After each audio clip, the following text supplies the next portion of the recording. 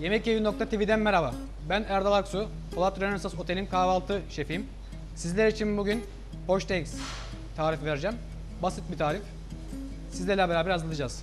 Malzemelerimiz 2 adet yumurta, jambon, 2 dilim tost ekmeği ve bollende sos, sirke ve tuz. Kaynayan suya sirkemizi ilave edip az tuzumuzu ilave ediyoruz. Kaynadıktan sonra iki tane yumurtamızı kırıp 3 dakika, ortalama 3 dakika pişir, pişireceğiz onun içinde.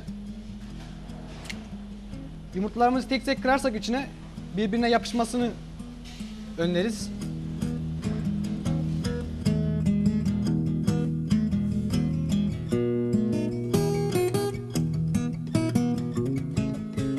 Yumurtalar olurken biz bu arada jambonumuzu kızartıp tabağımızın ön hazırlığını yapalım.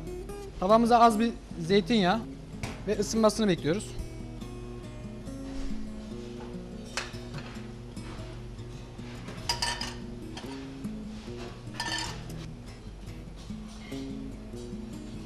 Çok fazla kurutmayacak şekilde jambonlarımızı soteleyeceğiz.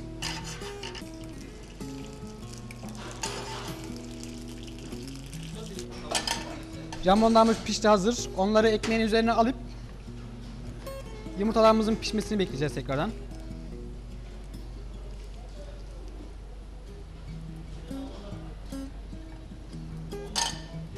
Şu an hazır olan yumurtalarımızı bir tabak yardımıyla alıp ekmeğin ve jambonun üzerine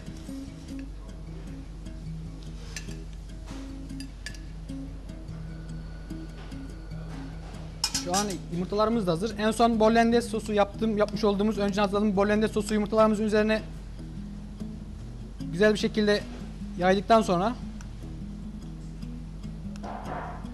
en son olarak tabağımızın sunumunu hazırlayacağız. En son tabağımızın dekorunu da yaptıktan sonra afiyet olsun.